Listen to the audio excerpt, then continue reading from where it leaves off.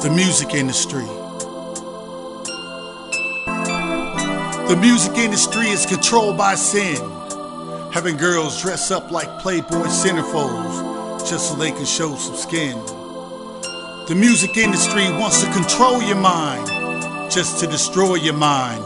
So let's feed them one more cursing, corrupted, lustful line.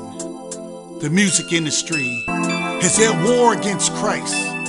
That's why it's ran by the devil, lives in the dark and shuts out the light. The music industry will sacrifice your child for the love of money.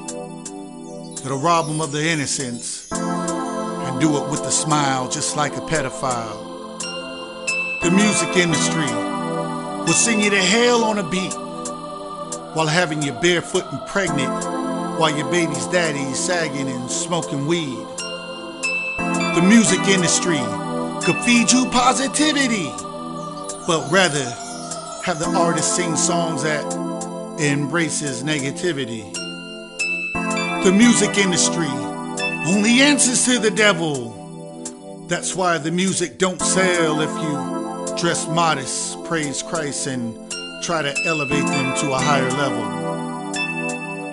The music industry will have you singing Amazing Grace while compromising your faith, morals, and values until they're finally erased. The music industry one day will be judged by Jesus Christ, the creator of all. And by his grace, he gave you the choice to reject him or choose life. Choose Christ.